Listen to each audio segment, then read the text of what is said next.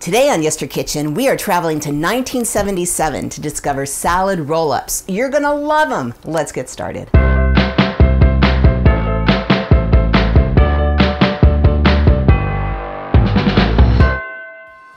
Hey everyone, I'm Jill and this is Yester Kitchen. I've got another quickie for you. So today uh, we are going to one of our favorite cookbooks that we've been talking about for a while, and that would be not Sunset, but here we go. Da da da da da da. HP Books. Where is HP? There, there you are. HP Books. So HP was very similar to Sunset, very popular in the 70s.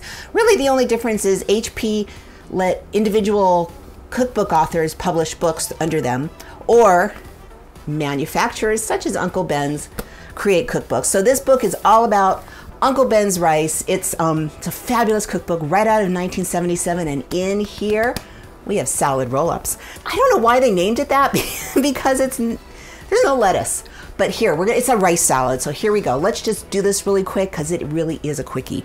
So here I've got in my teeny weeny happy little bowl a half a cup mayonnaise. To that, we're gonna add two teaspoons fresh, always fresh, lemon juice. And then we're just gonna mix that together. And give me a second to mix this until it's all incorporated. There we go. Nice and beautifully blended. Now we're just gonna go ahead and put this to the side. Okay, let's get to work on the filling. So in my happy little mixing bowl right here, I have two cups of cooked rice. And into that, I added one tablespoon of butter. It was right there, but it melted. So all you wanna do is just kind of mix it. Just mix that butter in. Now when you cook your rice, be sure to cook it with about a teaspoon of salt in the water. And you just wanna come up with two cups of rice. So normally one cup of raw rice equals three cups of cooked rice. So maybe just go down a little bit. I'll tell you what I did because it's old school and because it's Uncle Ben's, I went ahead and I did get Uncle Ben's, but I got the boiling bag, which is par cooked rice. So if you want, do want to do that, you just use two bags of rice. You will have exactly two cups. But if you want to use regular rice, I'll put it down in the description for you. Okay, so now we have well mixed buttered rice and it's pretty much cooled down. Now we're going to add some delicious things into this rice. The first thing we have is a quarter teaspoon of thyme. Then a quarter teaspoon of dried parsley. And lastly, a quarter teaspoon of marjoram. If you don't have marjoram, it's not a common spice. You can use oregano, but use an eighth of a teaspoon because oregano is way stronger than marjoram. They have a similar profile, a flavorful profile, not exactly, but it's close enough. So in goes that. And now let's mix all of this together. Into that, we are gonna add, oh, two tablespoons of capers. Very, very, very, very 70s, very salty, very briny, very delicious. And to that, we're gonna add a quarter cup of very finely chopped onions. I have white onions because that's what I happen to have on hand, but we will not be cooking these, so these may be a little on the strong side. So a milder onion would be a red onion, and even milder onion could be a green onion. The recipe doesn't specify, so you could do whatever you want. So in go our onions. And we're gonna mix everybody all together. Now, remember our lemon mayonnaise? Oh yes, that goes right back in. You don't wanna put all of it in right away, just put eh, most of it in.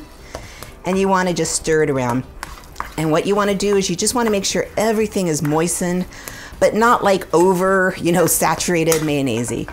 So it's really a good starting point to just have that half a cup of mayonnaise and then it just kind of sees where you go.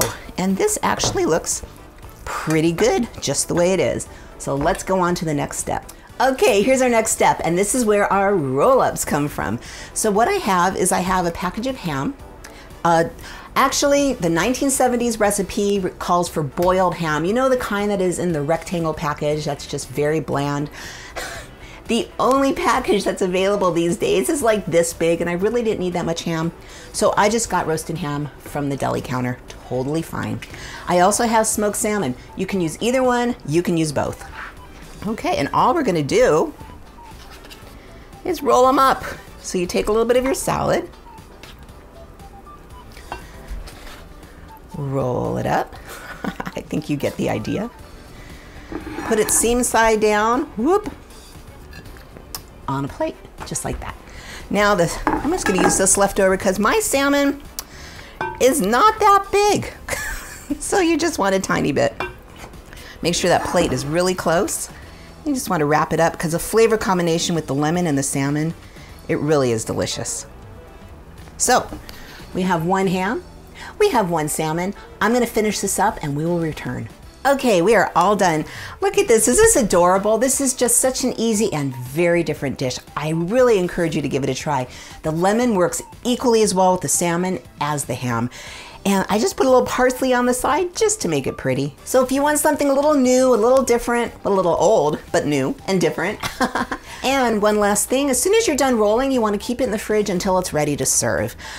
Here you go, 1977 on a plate from one of our glorious food manufacturers' cookbooks. Thanks for stopping by. It's always such an honor to have you join me.